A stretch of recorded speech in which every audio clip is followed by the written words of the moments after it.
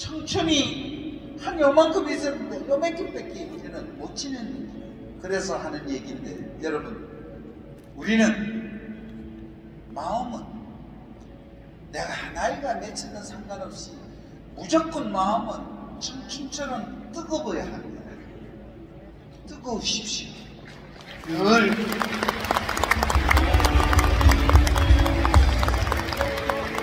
마음은 그렇고 몸은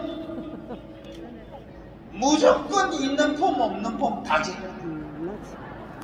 내가 잴수 있는 폼, 그만 돈으로 될 수 있으면 돈으로 다 써서라도 폼 있는 대로 이쁜 옷을 입고 매일 내일을 어이?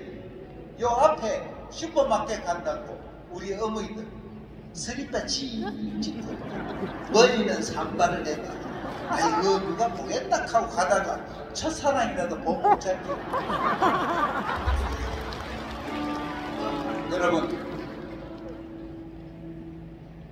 어디 가락하고 경치 구경하러 가락할 때 떨거지들 데리고 가지 마. 날마다 쳐다보는 거 그거 뭐로 데리고 가는데? 혼자 가라고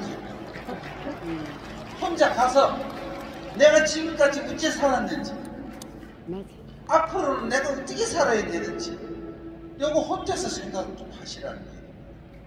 그래서 멋지게 사셔야 합니다. 여러분은 이 세상에서 정말 단 하나 DNA를 가지고 있는 최고의 분입니다. 여러분